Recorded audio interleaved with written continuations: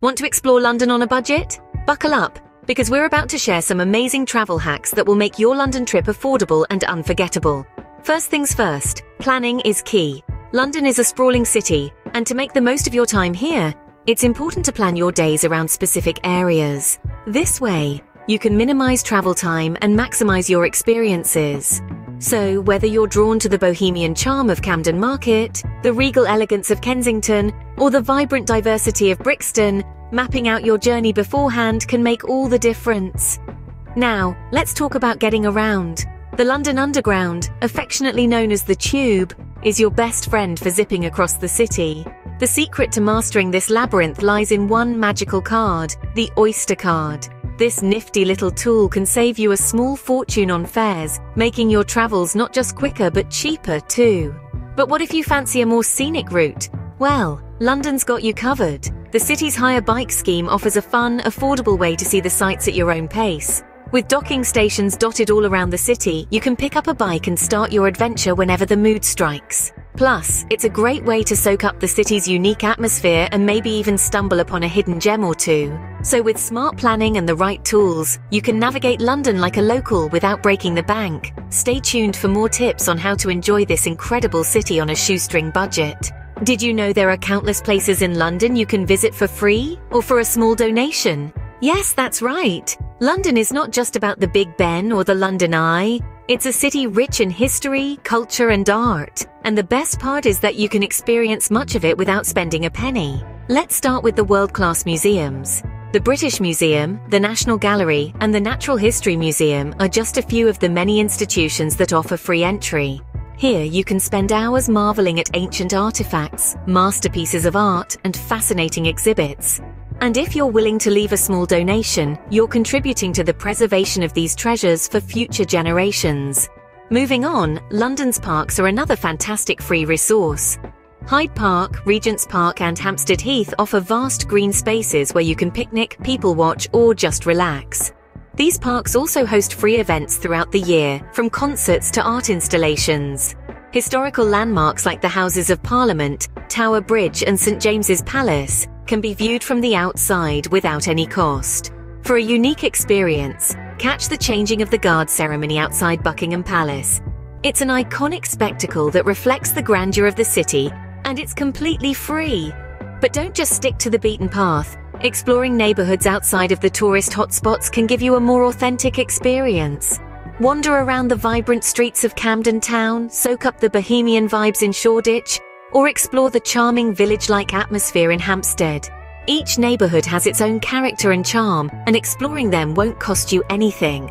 And let's not forget about London's public libraries, community events, street performances and markets. All of these add to the city's vibrant atmosphere and can be enjoyed without spending a penny. So remember, some of the best experiences in London don't come with a price tag. It's about immersing yourself in the city, its history, its culture, and its people. And that, my friends, is priceless. Who doesn't love a good deal? Especially when it can save you money on some of London's top attractions. Now let's talk about how to make the most of your money when you're exploring the city. One of the best ways to save money is by getting a discount visitor card, such as the London Pass. This handy card can give you free entry to over 80 attractions in London, including the Tower of London, Westminster Abbey, and a Thames River cruise. Not only does it save you money, but it also helps you skip the queues at some of the busiest attractions, making your sightseeing experience even more enjoyable. But that's not all. There's also the historic Royal Palaces membership. With this, you can visit the Tower of London, Hampton Court Palace and Kensington Palace as many times as you like within a year. It's an absolute steal if you're a history buff or a fan of royal residences. Beyond these cards, there are also online voucher deals that can save you a significant amount of money. Websites like Groupon and Living Social offer great deals on everything from dining experiences to spa treatments and even tours.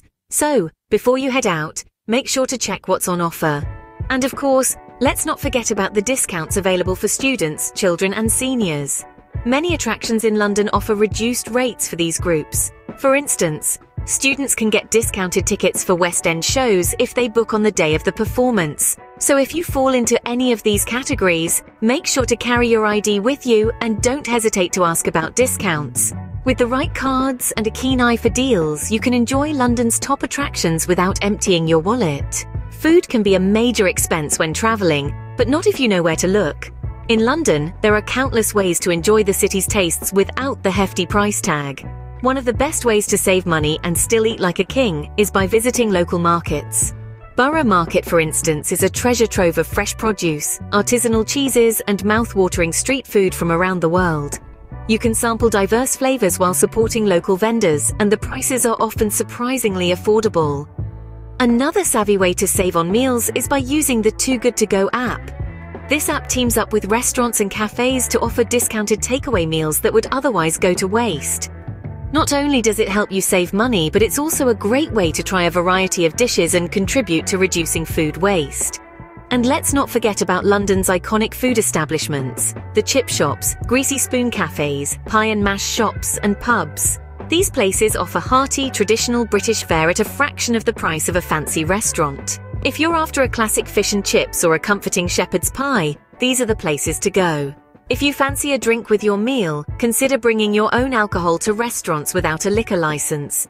This is a common practice in many parts of London and can save you a significant amount on your dining bill. But remember, eating on a budget doesn't mean you have to compromise on taste or quality. In fact, some of the best food experiences in London can be found in the most unexpected places. So next time you're in the city, don't be afraid to venture off the beaten path and explore the local food scene. Eating on a budget doesn't mean missing out on London's culinary scene. It's all about knowing where to go. Saving money on accommodation and transportation can make a big difference to your budget. So let's dive into some tips for finding affordable accommodation first. London, like any other city, has its pricey areas and its budget-friendly spots. If you're looking to save, consider staying in zones 3 or 4. The accommodation rates here are usually more wallet-friendly and you're still just a quick underground ride away from the heart of the city. Now, if you're really looking to stretch your pound, consider opting for budget hotels or hostels. They may not offer five-star luxury, but they provide a clean, safe place to rest your head after a day of exploring the city. And who knows, you might even meet some fellow travelers with great tips on hidden gems to visit. Next up is transportation. Getting to London can be a significant chunk of your budget, especially if you're flying in. But don't fret, Budget airlines are your friend here. They often offer competitive fares to London. Just be aware of the airport you fly into as the cost of transportation to the city centre can vary. Once in the city, the London Underground is your best bet for getting around. It's quick, efficient, and with an Oyster card, you can get cheaper fares. And hey, why not try out London's Hire Bike scheme for a fun and affordable way to see the city? Remember, every penny saved on accommodation and transportation is a penny you can spend on experiencing the best that London has to offer.